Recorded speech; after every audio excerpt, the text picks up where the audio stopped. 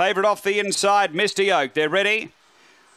And away, Misty Oak stepped well. Uh, pace here from Bangor Regis, Bungaloo Sunset, and out wider on the track, zipping over Guns Miss. Guns Miss finds the lead through to second, Misty Oak, the inside of Bungaloo Sunset. They were followed three away by Westlake Rose at financial bonus. Next is Krypton Queen. Bangor Regis got shuffled out of it in small spring, but the front runner Guns Miss being tackled by Misty Oak, still a length and a half away. Four or five, Westlake Rose went wide. Guns Miss on the turn, but it led from Misty Oak in front. Guns Miss and Guns Miss beats Misty Oak. Uh, third home is Bungaloo Sunset. Uh, then Westlake Rose, and next in is Krypton Queen, Financial Bonus, Bangor Regis, and Small Spring was back at the tail end. Uh, the time here is 30 and 74.